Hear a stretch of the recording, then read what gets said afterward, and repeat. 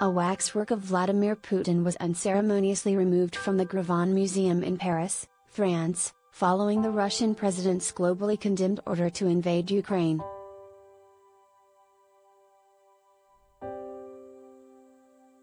A statue of Ukrainian President Volodymyr Zelensky may take its place alongside US President Joe Biden, Britain's Queen Elizabeth II and China's Xi Jinping in the World Leaders Display Area, museum officials told AFP.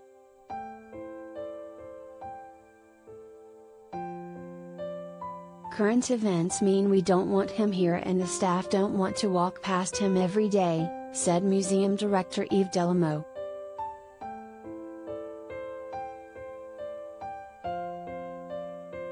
We have never represented dictators like Hitler in the Grévin Museum, we don't want to represent Putin today, Delhommeau added.